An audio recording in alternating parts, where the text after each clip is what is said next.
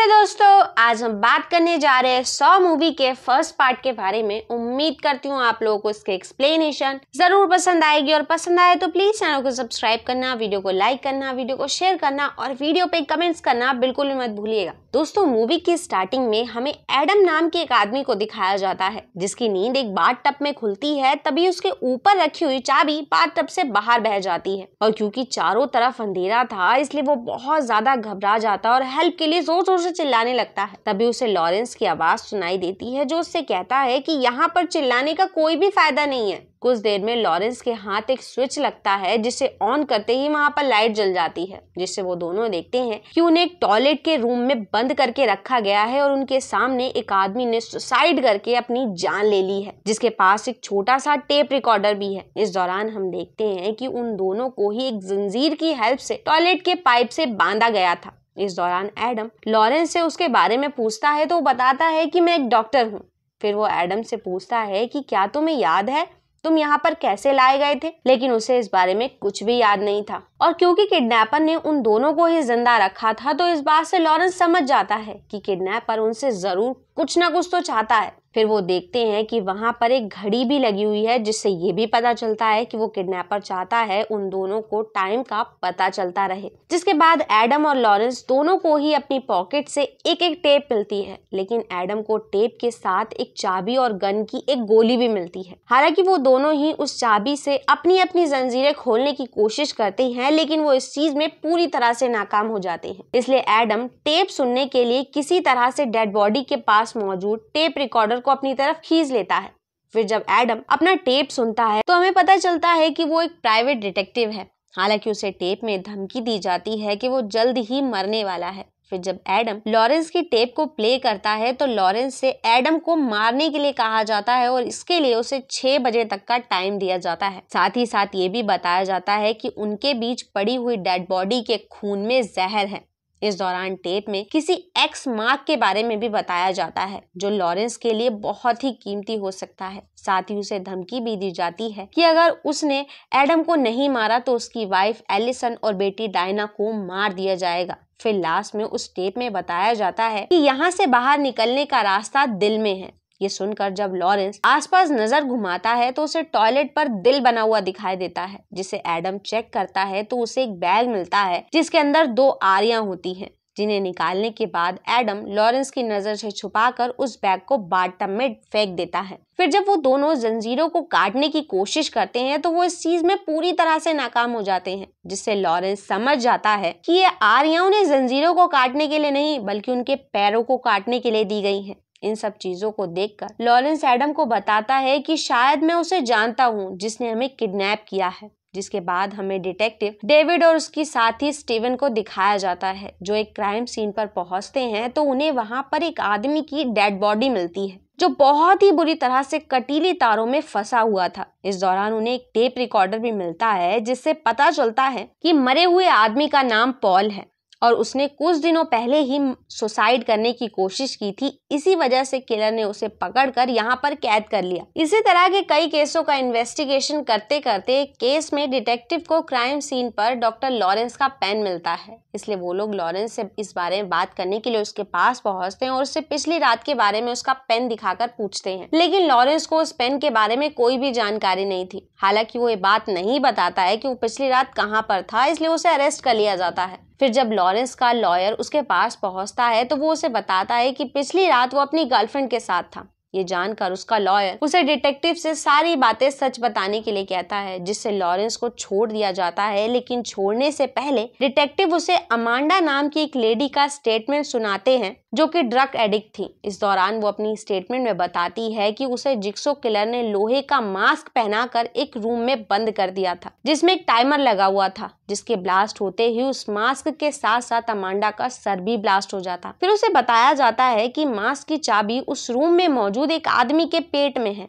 जो कि इस वक्त बेहोश था। इसलिए अमांडा ना चाहते हुए भी उस आदमी के पेट को फाड़ कर चाबी निकाल लेती है। इस वजह से जिक्सो किलर ने उसे छोड़ दिया था। लेकिन अब अमांडा को लगता है कि जिक्सो किलर ने उसकी मदद की है। फिर हम प्रेजेंट का सीन देखते हैं, जहाँ पर पता चलता है कि एडम और लॉरेंस पर कैमरे से ही नज़र रखी जा रही है। और क्योंकि एडम बहुत ज़्यादा फ्रस्ट्रेट हो रहा होता है, इसलिए लॉरेंस उसे समझाता है कि तुम्हें शांत रहना होगा। क्योंकि मेरी भी एक फैमिली है, जिसे मैं बहुत प्यार करता हूँ। फिर वो अपना पर्स निकाल कर एडम की तरफ़ फेंकता है, जिससे वो उसकी बेटी की फ़ोटो देख सके। लेकिन जब एडम चेक करता है तो उसे एक फ़ोटो मिलती है, जिसमें एलिसन और डायना दोनों को ही किडनैप किया गया था, और उसके पीछे लिखा गया था कि एक्स मार्क तुम्हें तभी दिखेगा जब तुम अपनी आँखें बंद कर लोगे। यानी कि कैमरे में अंधेरा होगा, लेकिन एडम लॉरेंस से वो फ़ोटो छुपा लेता है, जिसके बाद हमें पता चलता है कि लॉरेंस के घर से निकलते ही उसकी फैमिली को कैद कर लिया गया था। यहाँ पर हम देखते हैं कि उस किलर को लॉरेंस की बिल्डिंग पर नज़र रख रहा डिटेक्टिव डेविड देख लेता है। फिर हमें पास का सीन दिखाया जाता है जहाँ पर डिटेक्टिव अमांडा के केस से रिलेटेड वीडियो देख रहा होता है तो उसे उस जगह के बारे में पता चल जाता है जहाँ पर वो जिक्सो मौजूद था। इसलिए वो अपने साथ ही स्टीवन के साथ वहाँ पर छापा मार देता है लेकिन जब वो दोनों जिक्सो को रंगे हाथों पकड़ने की कोशिश करते हैं तो वो वहाँ पर बंधे हुए एक आदमी के सर के पास लगी हुई मशीन को ऑन कर देता है जो की उसकी तरफ़ तेज़ी से बढ़ने लगती है। ये देख स्टीवन उस आदमी को आज़ाद करने की कोशिश करता है। तभी मौके का फ़ायदा उठाकर जिक्सो किलर डेविड के गले पर चाकू से अटैक करके वहाँ से भाग जाता है। इसलिए स्टीवन उसके पीछे जाता है और उस पर शॉर्ट गन से अटैक करता है, जिससे वो वहीं पर गिर जाता है। लेकिन जैसे ही वो उसके पास पहुँचने की कोशिश करता है, वहाँ पर लगे हुए ट्रैप में उसका पैर पड़ने से गन चल जाती है और स्टीवन बेरहमी से मारा जाता है, जिससे जिक्सो बचकर निकल जाता है। और क्योंकि गला कटने के बाद भी डेविड बच गया था और उसी की वजह से उसका साथी स्टीवन मारा गया था, इसलिए वो अभी तक जिक्सो का पता लगाने की कोशिश कर रहा था। जिसके बाद हमें प्रेजेंट का सीन दिखाया जाता है, जहाँ पर एडम लॉरेंस के पर्स में मिली फ़ोटो को देखकर लॉरेंस से लाइट बंद करने के लिए कहता है, और जैसे ही लॉरेंस लाइट बंद करता है तो उसे एक्स मार्क दिख जाता है। जहाँ पर उसे एक छोटा सा बॉक्स मिलता है जो लॉक होता है, जिसे लॉरेंस उस चाबी से खोल देता है जो उसे अपनी पॉकेट से मिली थी। तो उसे बॉक्स के अंदर एक फ़ोन के साथ साथ दो सिगरेट और एक छोटा सा नोट भी मिलता है, जिसमें बताया गया था कि ये सिगरेट पूरी तरह से ठीक है। और ये तब तक जानलेवा नहीं हो सकती जब तक तुम इसमें वो ब्लड का जहर नहीं मिलाओगे। जो कि एक बहुत ही अच्छा आइडिया था, जिससे बिना किसी परेशानी के लॉरेंस एडम को मार सकता था। फिर लॉरेंस पुलिस को कॉल करने की कोशिश करता है, लेकिन उसे पता चलता है कि उस फ़ोन से सिर्फ़ कॉल रिसीव की जा सकती है। तभी उसे याद आता है कि जब वो पिछली रात हॉस्पिटल से निकला तो कोई उसकी फ़ोटोज़ ले रहा था, लेकिन उसने इस बात को पूरी तरह से इग्नोर कर दिया। फिर जब वो किसी को कॉल करने की कोशिश कर रहा था, तभी उस पर एक पिग मास्क पहने हुए आदमी ने अटैक कर दिया था, जो कि पहले से ही वहाँ पर उसका वेट कर रहा था। जिसके बाद हम प्रेजेंट में देखते हैं कि लॉरेंस समझ गया था कि एडम उससे झूठ बोल रहा है। इसलिए वो उससे सारी बातें सच बताने के लिए कहता है तो एडम उसे वो फ़ोटो दिखाता है, जो लॉरेंस के पर्स से उसे मिली थी। एडम उस फ़ोटो को इसलिए छुपा रहा था कि कहीं लॉरेंस फैमिली को मुश्किल में देखकर उसे मार ना दे। जिसके बाद लॉरेंस सिगरेट में वहाँ पर पड़ा हुआ खून लगा देता है और एडम को अपना साथ देने के लिए कहता है। जिस चीज़ के लिए वो तैयार भी हो जाता है, जिसके बाद लॉरेंस रूम की लाइट बंद कर देता है और वापस से जलाने के बाद एडम को वो सिगरेट देता है, जो कि बिल्कुल ठीक होती है, जिसे पीने के बाद एडम मरने का नाटक करता है। लेकिन जिक्सो किलर उसे इलेक्ट्रिक शॉक देने लगता है, जिससे एडम उठकर खड़ा हो जाता है और उनका प्लान चौपट हो जाता है। तभी एडम को याद आता है कि वो घर पर पहुंचकर रूम में फ़ोटोज़ प्रिंट करते करते सो गया और जब उसकी आँख खुली तो उसके घर में लाइट नहीं थी। और क्योंकि उसे एहसास हो गया था कि उसके घर में कोई और भी मौजूद है, इसलिए वो अपने कैमरे की फ्लैश से उसे देखने की कोशिश कर रहा था। तभी क्लोजेट से में छुपा हुआ आदमी उस पर अटैक करके उसे बेहोश कर देता है। फिर प्रेजेंट में लॉरेंस के पास मौजूद फ़ोन बजने लगता है और जब वो फ़ोन उठाता है तो उसे दूसरी तरफ़ अपनी बेटी डायना की आवाज़ सुनाई देती है, जिसे बात करके लॉरेंस को ये बात कंफर्म हो जाती है कि उसकी फैमिली सच में किडनैप हो चुकी है। इस दौरान एलिसन लॉरेंस को आगाह भी करती है कि तुम एडम की बातों पर विश्वास मत करना, क्योंकि वो तुम्हें पहले से जानता है। ये जानकर वो एडम से पूछता है कि क्या ये बात सच है? हालाँकि पहले तो वो झूठ बोलने की कोशिश करता है, लेकिन फिर बताता है कि मैं एक प्राइवेट डिटेक्टिव हूँ और मुझे पता है कि तुम अपनी वाइफ को चीट कर रहे थे, जिसके बाद वो बाथ में छुपाए हुए उस बैग को निकालता है, जिसमें लॉरेंस की बहुत सारी फ़ोटोज़ थी और उन फ़ोटोज़ से ये प्रूव हो जाता है कि लॉरेंस पिछली रात किसी से मिलने के लिए होटल गया था। उन फ़ोटोज़ को देखकर लॉरेंस एडम से पूछता है कि तुम्हें किसने हायर किया था? तो वो बताता है कि मुझे तुम पर नज़र रखने के लिए एक बॉब नाम के आदमी ने हायर किया था। लेकिन जब एडम उस आदमी का हुलिया बताता है तो लॉरेंस समझ जाता है कि वो बॉब नहीं, बल्कि डिटेक्टिव डेविड है। और क्योंकि उसे अपने पार्टनर के मरने के बाद नौकरी से निकाल दिया गया था, इसलिए वो लॉरेंस के पीछे पड़ा हुआ था। फिर जब दोबारा एडम की नज़र उन फ़ोटोज़ पर पड़ती है तो उसे एक ऐसी फ़ोटो मिलती है जिसमें लॉरेंस के घर की तस्वीर थी और उसमें लॉरेंस का कलीग जैप था, जिससे लॉरेंस को कंफर्म हो जाता है कि इन सब चीज़ों के पीछे कोई और नहीं, बल्कि जैप ही है। तभी हम लॉरेंस के घर का सीन देखते हैं, जहाँ पर जैप ये सारी चीज़ें देख रहा होता है।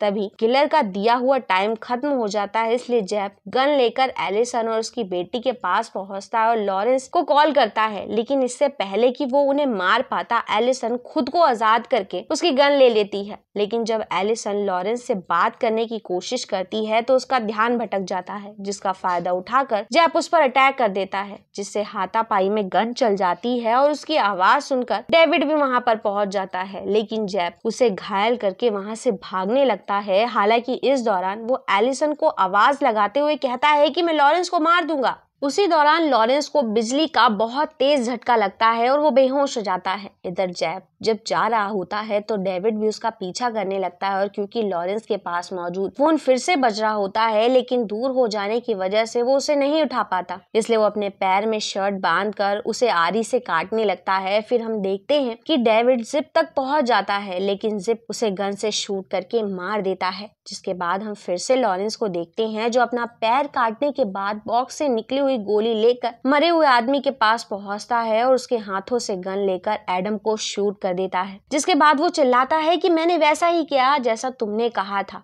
इसलिए अब तुम मेरी फैमिली को छोड़ दो। हालाँकि इस दौरान हम देखते हैं कि लॉरेंस की फैमिली अब बिल्कुल सही सलामत थी। फिर जैब भी गन लेकर लॉरेंस के पास पहुँच जाता है और एडम को चेक करने के बाद कहता है कि तुमने बहुत लेट कर दिया, इसलिए मुझे रूल को फॉलो करना ही पड़ेगा। लेकिन इससे पहले कि वो लॉरेंस को मार पाता, वहाँ पर बेहोश पड़ा एडम उस पर अटैक कर देता है और टॉयलेट सीट से उसके सर पर लगातार अटैक करके उसे बहुत ही बेरहमी से मार देता है।